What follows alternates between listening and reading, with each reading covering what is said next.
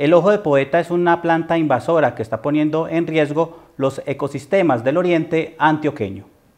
Las especies invasoras son animales, plantas u otros organismos que se desarrollan fuera de su área natural, en hábitats que no les son propios, produciendo alteraciones en la riqueza y diversidad de los ecosistemas. Cuando hablamos de plantas invasoras, hacemos referencia a, ciertos eh, elementos de flora que son foráneas a la región o que son eh, traídas de otro lugar, de otras regiones y que afectan eh, necesariamente el comportamiento de la fauna y flora de la región eh, o de un área determinada. Eh, particularmente en esta región tenemos la presencia del ojo de poeta, que es una, una especie invasora, exótica, venida del sur del África y que por alguna razón llegó a nuestro país o a la región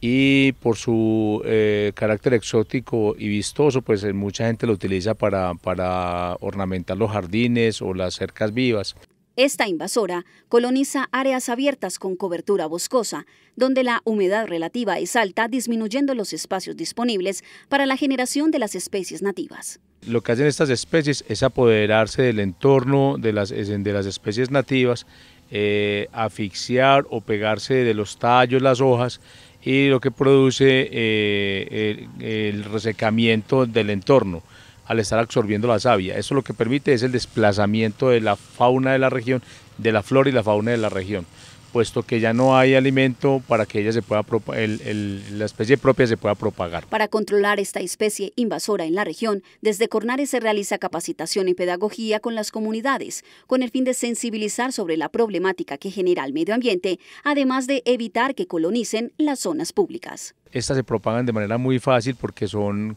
son, son plagas, entonces eh, se transportan fácilmente sus semillas a través de las actividades humanas, el mover tierra de un lado para otro, a veces cuando hacemos las podas de los jardines donde aparecen, eh, acumulamos este material de poda junto a las quebradas, junto a los bosques nativos y estas son maneras que de propagación, de propagarse muy fácil. Eh, igualmente, eh, a veces el sembrarlas como cercos vivos permiten esta propagación a través del aire, hacia otros vecinos y vamos, vamos lo que vamos propiciando es un crecimiento muy grande de esta población. Lo que debemos hacer es arrancarlas de raíz, eh, ponerlas en un lugar, en un lugar abierto,